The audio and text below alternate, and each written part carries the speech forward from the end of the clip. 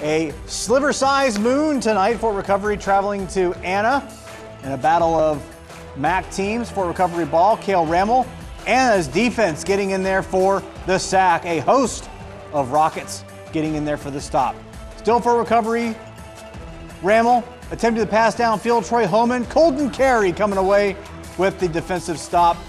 Nice hands in there. Second and nine, ball on the 48. Still Fort Recovery's ball. Rammel hands off to Logan Holman, who passes it. Touchdown Fort Recovery. Score 13 to 6. Next play, Kendrick Wendell with the kickoff.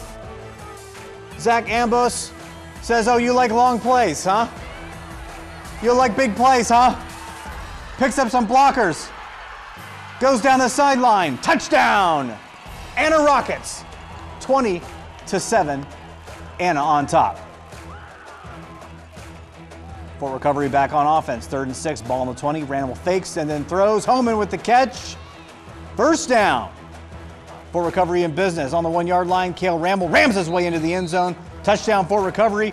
Two point conversion is good. Anna lead 20 to 14. They win tonight 33 to 14. Anna winning 33 to 14 over Fort Recovery. So, Region 24 filling in. Mechanicsburg and Coldwater will meet up next week, and Allen East gets the Anna Rockets. Looking forward to both of those matchups, and again, we'll find out where they are here